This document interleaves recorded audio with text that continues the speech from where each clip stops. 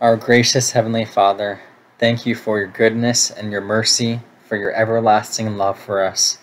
Thank you for all the young people at Crosspoint Church. You tell us that children are a gift and reward from you. Every student we have, from elementary to high school, is a blessing. May all of them be drawn to your irresistible love and grace in Jesus Christ. Give all the parents, leaders, and pastors your perfect wisdom to lead them closer to Jesus. May we not take this responsibility and privilege lightly but help us to fight for our families, to continue bringing them before you in prayer. In Jesus' name I pray, amen.